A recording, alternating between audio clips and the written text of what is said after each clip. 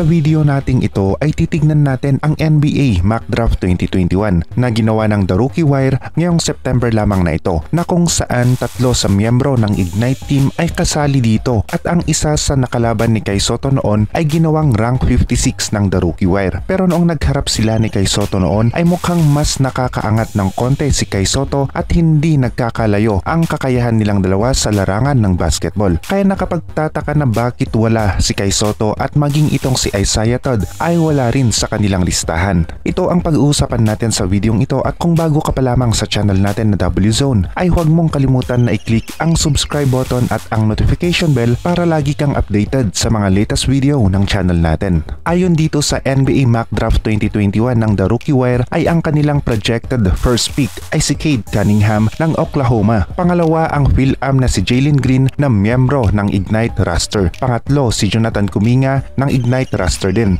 Habang itong si Daishin Nix naman ay nasa number 28 ng NBA Mock Draft ng The Rookie Wire latest edition nila. Napansin ko lang na bakit wala si Isaiah Todd at itong si Kai Soto. At kung titignan natin ang laro ni Maker noon laban sa team ni Kai Soto na TSF lalong lalo na ang inside play nilang dalawa ni Kai Soto ay kita naman na halos magkasing galing lamang sina Kai Soto at Maker. At mukhang mas nakaaangat pa itong si Kai Soto pagdating sa loob ng paint dahil na rin sa height nito na 7'2 laban sa 7-footer na si Makor Maker.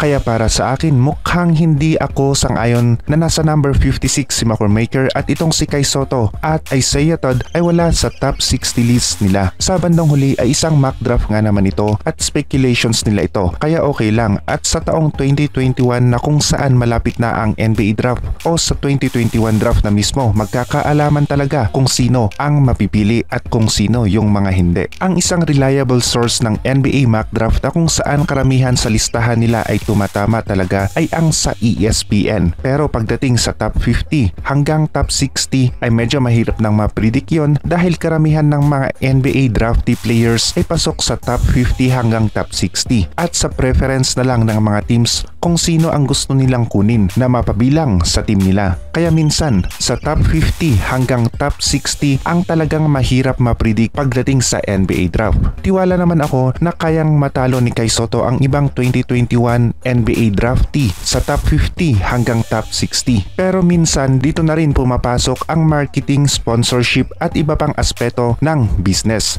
Dahil sa bandang huli ang NBA ay isang sports league na related pa rin sa business at minsan nakakaapekto rin ito sa pagpili ng mga players sa NBA draft. Puntahan naman natin ang NBA na kung saan panalo na ang LA Lakers sa Western Conference Finals at tinalo nila ang Denver Nuggets sa best of 7 series sa score na 4-1. Para naman sa Eastern Conference Finals ay magkakaalaman na rin bukas kung mananalo na ba ang Miami Heat sa best of 7 series nila laban sa Boston Celtics o magkakaroon pa ba ng Game 7. Ang kasalukuyang score sa Eastern Conference Finals ay 3-2 lamang ang Miami Heat. Yan na muna para sa video natin ngayon at kung bago ka pa lamang sa channel natin na W-Zone ay huwag mong kalimutan na i-click ang subscribe button at ang notification bell para lagi kang updated sa mga latest video natin.